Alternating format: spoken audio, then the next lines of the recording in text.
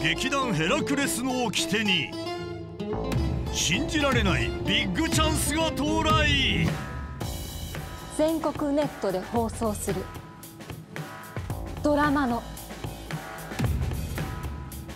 スタッフさんからオファーが来ました。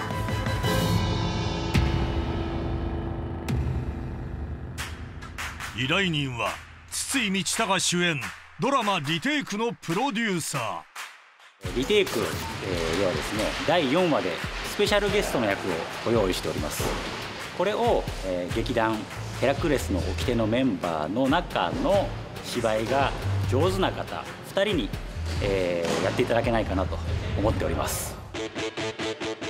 今から3段階の審査で君たちをふるいにかけます。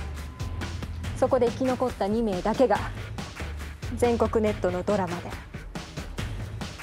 役者デビューをすることができます。サバイバルを制するのは一体誰だ？